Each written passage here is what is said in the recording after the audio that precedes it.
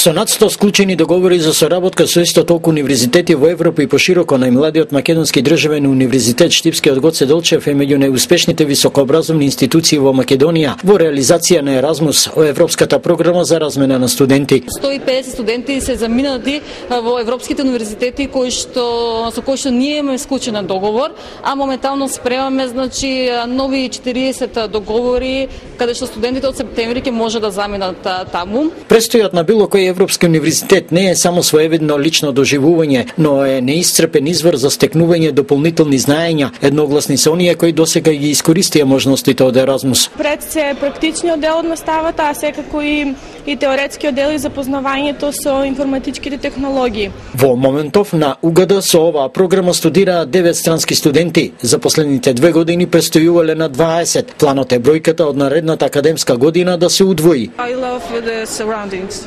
Особено она што ми се допаѓа мене се планинските предели и природата во Република Македонија.